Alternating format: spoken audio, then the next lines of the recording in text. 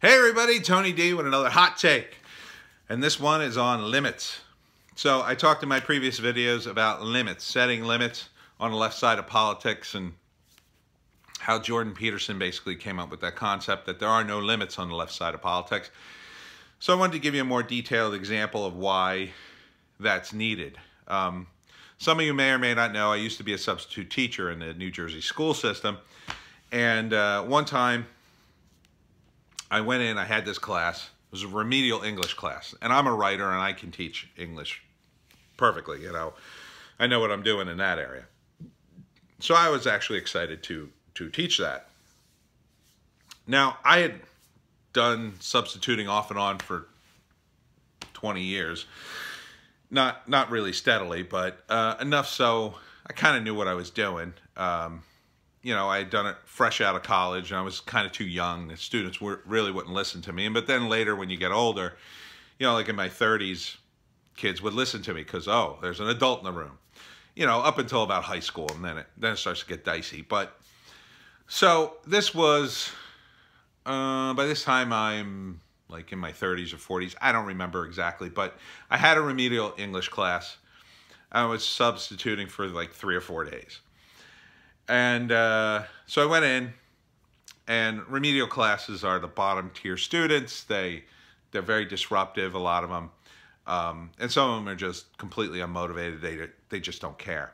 And the problem with that is if if a kid doesn't care and he doesn't want to learn, he won't learn. You won't learn anything. You could go through, and people know this. You can go through high school and not learn a damn thing you could also go there and learn things if you if you try. It's actually harder to learn with so many people in the school system trying not to learn. I mean, it was that way when I was in high school. I wanted to learn things, and um, there were kids around me. Although I was in the gifted and talented class, um, you know, for for most of my my my classroom runs, I was in you know, I was in the room with other students who were like me, were eggheads like me. But once in a while, I'd be in the room with kids who were just normal kids, and they they could care less about school. They some of them went on to graduate, or they they all went on to graduate, but some of them went on to say stuff after they graduated, like, "Man, I wish I had paid attention in school." Um, and I would try to tell students that when I was a substitute, I would say you should you should at least pay attention to the basics because you're going to graduate high school learning nothing because they're just going to push you through and then you're going to say to yourself, "Man, I really wish I'd paid attention." You're going to be embarrassed when you have kids and your kid comes to you with help for homework and you don't know what the heck you're doing. At at the very least. Um, so I'm in this class and uh, the first day we had to go down to the library, and it was a very simple assignment because it's a remedial English class. Look up a Greek god on Wikipedia and fill out the information on this form. And, you know, I had maybe 12, 15 kids in the class. Five or six of them do it like before I'm done taking attendance because they're normal kids. And that this assignment's been dumbed down to the point at which even the kids in the remedial class can do it in like a minute. Then there's two or three kids in the class that actually need my help. They're actually remedial students. They're not just lazy, they're actually struggling with the whole concept.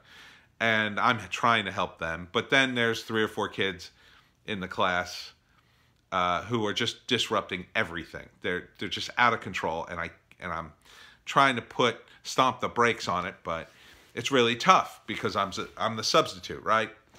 So eventually the most disruptive kid I kick out and say, go to the principal, get out of here. He leaves, but we still get kicked out of the library anyway, the class, as a class. So we go back to the classroom and I try to show the kids how to look it up in a book and they look at me like I'm insane. A book? Oh my God. Um, kids now don't get to take the books home. They're actually in the classroom because so many of the kids would take them home and not bring them back, I guess. And it was too valuable to the school. And the kids are so irresponsible, they would just be like, well, I don't have a book. You got to give me another one. Um, and I guess they couldn't charge the kid or whatever. you know, when you have a kid who's disruptive and he's poor and he just doesn't care, what are you going to do? Keep giving him books? So uh, that was my first day. And then the second day, come back to the same class. We're in the classroom teaching. Uh, same kid, just super disruptive the whole time. About halfway through the class, I kick him out again. I said, go down to the office. I'm so sick of your behavior. You're, you're, you're acting like a knucklehead. Get out of here. Goes, goes away. I get control of the class again. Then one of the kids has kind of a little bit of a breakdown because he's kind of disruptive, but I'm trying to keep a lid on him, and he's resisting me. And uh, he finally blurts out that his family, his father lost his job, and his family's losing his house, and that's why he's so angry at me like totally unsolicited. Now, I don't know if to take this as, oh, he just made this up because he wants to get a rise out of me, or he actually, you know, he actually is upset. He seemed upset. So I say something neutral like, well, I'm very sorry about that, but that's not my fault. I'm not, I'm not the one firing your father or taking away your house. So, I mean, you still got to get an education. Um, and he still seems a little upset. So I suspected that it was true.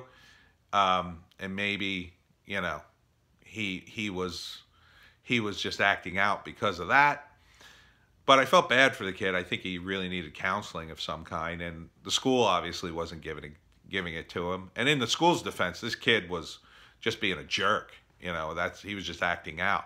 You know, eh, oh, teachers don't have time to play detective with your kid and try to figure out all his problems. Um, they got other kids to teach, but you know, I, I felt bad for the kid. So day three, I come back into the classroom, and the disruptive kid is right out the gate, right on my nerves, and really bad. So about five minutes in, I'm like, listen, you got to go out. Go back to the principal's office. Now, this is the third time I kicked him out, and I'm like, oh, this kid's in big trouble. He's done. He's done. He's going to, he's getting suspended. He's going to detention, whatever. About halfway, and I get a handle on the class. And even the kid who had like a breakdown the day before, he seems to be on board, and we're having an okay class. I mean, it's a remedial class. The assignment's no big deal. It's at least quiet in the room. I got a lid on things.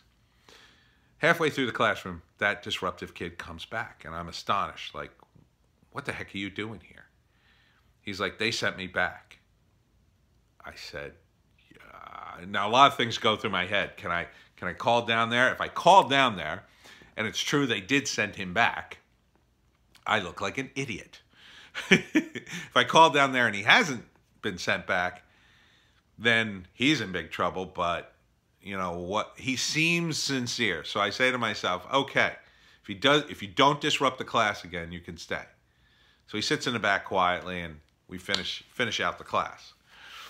So i get a call after the class is over can you come down to the office please? Now it's the end of the day. I was going down to the office anyway and quite frankly i wanted to see what happened. So i'm like yeah sure so I go down to class and I get called in by the assistant principal. Now, I had been sending them to the principal's office, but it's really it's the assistant principal, uh, principals, usually a couple, that do sort of the legwork for the principal. So he calls me in and he's like, uh, so what's the deal with this kid? I said, well, you, you know, and I outline all the disruptive things he did and I said, you know, he's got a real problem. I and I start telling him about the other kid too, and he says, uh, he sort of interrupts me and goes, well, what do you expect me to do about it? And I'm like, what? what what the heck are you talking about? What? Uh, give him detention, suspend him. Oh, I, I'm not doing that. I'm like, you're not doing that. He goes, no, no, no. If I suspend him, his his parents are going to be in here. I go, well, maybe they should be. I mean, maybe you should be talking to him. I mean, the kids out of control. Yeah, but they're just going to say, you don't know how to discipline them. And I'm looking at this guy like, are you nuts?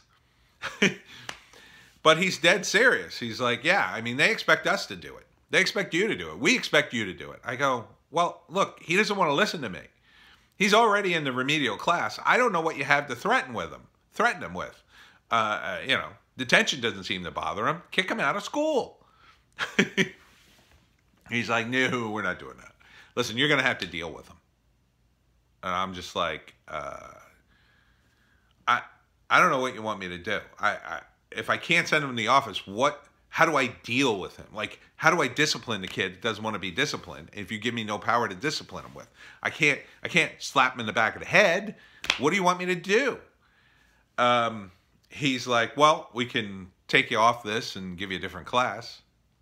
I'm like, yeah, I guess you might as well do that.